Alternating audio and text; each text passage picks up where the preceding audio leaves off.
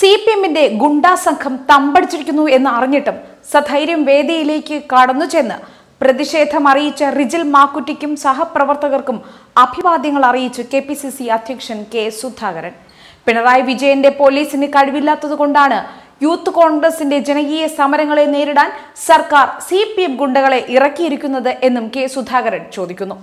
ജനപക്ഷത്ത് നിന്നുകൊണ്ട് ജനങ്ങൾക്കു വേണ്ടി ശബ്ദമുയർത്തിയ യൂത്ത് കോൺഗ്രസ് സംസ്ഥാന ഉപാധ്യക്ഷൻ ശ്രീ റിജിൽ മാക്കുറ്റിയെ പോലീസ് സഹായത്തോടെ സി പി എം ഗുണ്ട പ്രമുഖർ മർദ്ദിച്ചത് അങ്ങേയറ്റം പ്രതിഷേധാർഹമാണ്.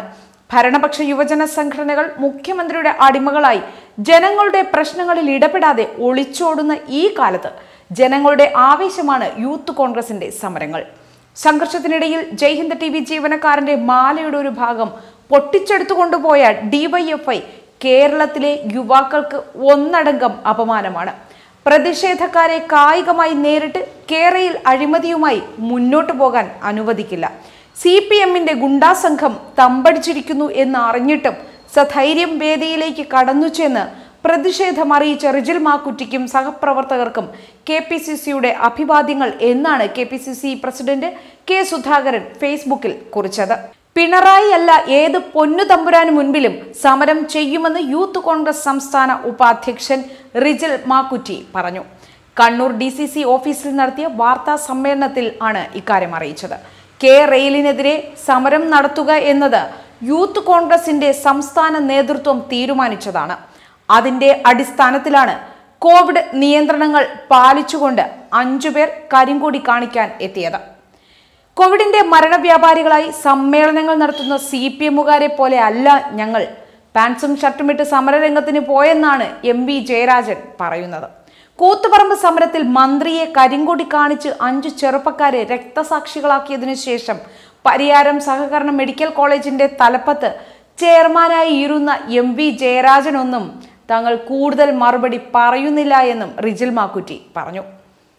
പ്രതിഷേധിക്കാൻ പോയപ്പോൾ ഞങ്ങൾ പാൻസും ഷർട്ടും ഇട്ട് എന്നാണ് ജയരാജന്റെ ആരോപണം. പാൻസും ഷർട്ടും എന്താ നിരോധിത വസ്ത്രമാണോ? കേരയിൽ പദ്ധതിയുടെ വിശദീകരണ യോഗത്തിൽ ഞങ്ങൾ നഗ്നതാ പ്രദർശനം നടത്തിയിട്ടില്ല.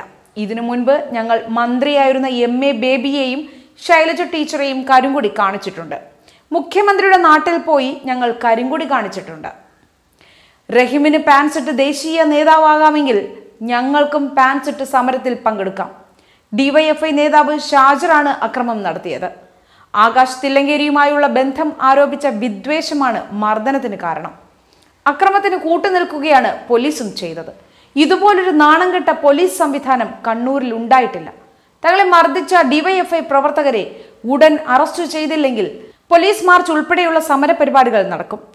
തങ്ങളെ ആക്രമിച്ച ക്രിമിനലുകളെ ജനപ്രതിനിധി സ്ഥാനത്തു നിന്നും ഒഴിവാക്കണമെന്നും റിജിൽ മാക്കുറ്റി ആവശ്യപ്പെട്ടു. റിജിൽ പബ്ലിസിറ്റി ആഗ്രഹിക്കുന്ന ക്ലാസ്മേറ്റ് സിനിമയിലെ സതീശൻ കഞ്ഞിക്കുഴിയെ പോലെയാണ് എന്ന ജയരാജന്റെ പരിഹാസത്തിനും കൃത്യമായ മറുപടിയാണ് നൽകിയത്. എം എസ് എഫ് നേതാവ് അരിയിൽ ഷുക്കൂറിനെയും യൂത്ത് കോൺഗ്രസ് നേതാവ് ഷുഹൈബിനെയും കൊല്ലാനുള്ള മരണവാറണ്ടിൽ ഒപ്പിട്ട രക്തരക്ഷസാണ് പി ജയരാജൻ എന്ന് റിജിൽ വിമർശിച്ചു. മിന്നാരത്തിലെ ഉണ്ണുണ്ണി തോറ്റുപോകുമായിരുന്നു സി ബി ഐ വരുന്നു എന്ന് കേട്ടപ്പോൾ പി ജയരാജന്റെ പ്രകടനം കണ്ടാൽ. ആ പഹയനാണ് തന്നെ വിമർശിക്കുന്നതെന്നും റിജിൽ പറഞ്ഞു. കതിരൂർ മനോജ് വധക്കേസിൽ മുൻകൂർ ജാമ്യം കിട്ടാതെ വന്ന അതേ സാഹചര്യത്തിൽ ദേഹാസ്വാസ്ഥ്യത്തെ തുടർന്ന് ജയരാജൻ ആശുപത്രിയിലും പ്രവേശിച്ചിരുന്നു.